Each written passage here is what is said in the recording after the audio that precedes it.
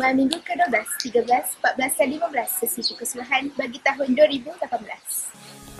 Pada 1 April 2018, pelancaran bulan ICT telah diadakan di dalam Dewan Seri Tun Habab.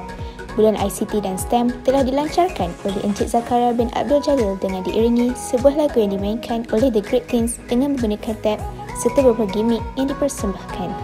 Semoga dengan adanya pelancaran ini, dapat meluaskan pengetahuan tentang ICT dan teknologi maklumat kepada para pelajar. Majlis Perasmian DTC JDT telah dilaksanakan pada hari Ahad bersamaan 15 April 2018. Majlis ini telah dirasmikan oleh Kapten Muhammad Fahmi bin Yahya di Dewan Seri Tun Habak. Dengan adanya majlis perasmian ini, semoga pelajar-pelajar DTC JDT mempunyai semangat juang yang tinggi untuk terus maju ke hadapan demi mencapai kecemerlangan kod kurikulum.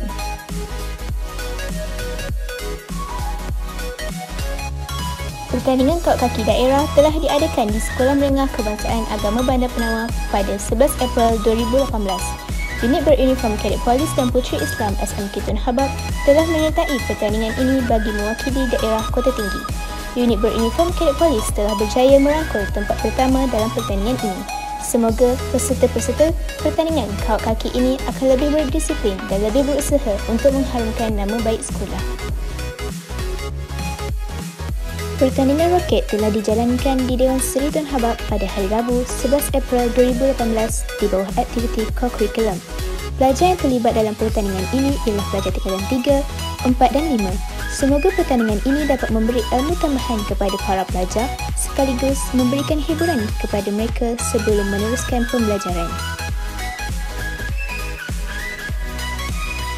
Program keselamatan cyber telah dijalankan pada hari Rabu iaitu 18 April 2018 di Dewan Seri Tun Habab.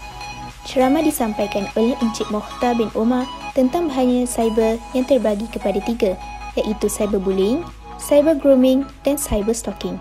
Semoga program ini dapat memberikan kesedaran kepada para pelajar serta para guru SMK Tun Habab agar lebih berhati-hati dalam penggunaan internet dan media sosial. Pada 8 April 2018, pertandingan Mobile Legends dan FIFA telah diadakan di dalam Dewan Seri Tun Habab. Pertandingan ini telah disertai oleh pelajar tingkatan 1 hingga tingkatan 4. Semoga pertandingan ini dapat mendedahkan kepada para pelajar tentang isukan.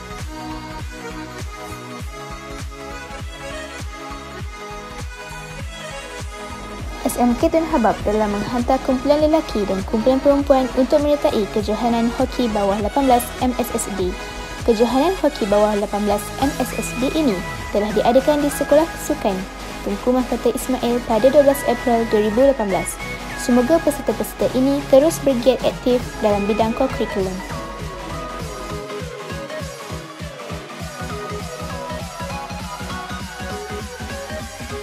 SMK Tun Habab telah menghantar beberapa pelajar dalam menyertai Karnival Bahasa Melayu pelajar-pelajar SMK Tun Habab telah menyertai pertandingan Forum Perdana, Pesta Pantun, Bahas Ala Parlimen, Sahibah dan Pidato. SMK Tun Habab telah mendapat johan keseluruhan dalam karnival ini. Semoga dengan kejayaan ini, pelajar-pelajar dapat meningkatkan minat dan prestasi dalam bidang Bahasa Melayu.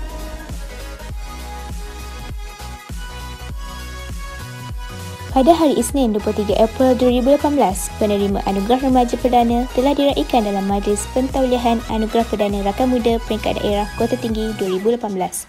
Majlis ini telah diadakan di Dewan Seri Tun Habak.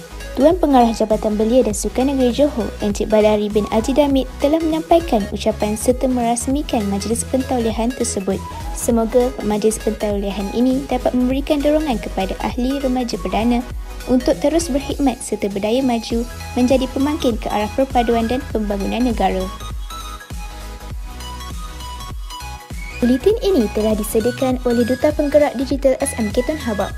Sekian sahaja untuk buletin pada kali ini. Jangan lupa like dan follow Instagram dan page kami SMK Tun Habab. Jangan lupa like dan subscribe YouTube Glorious Tun Habab. Hashtag Glorious Tun Habab.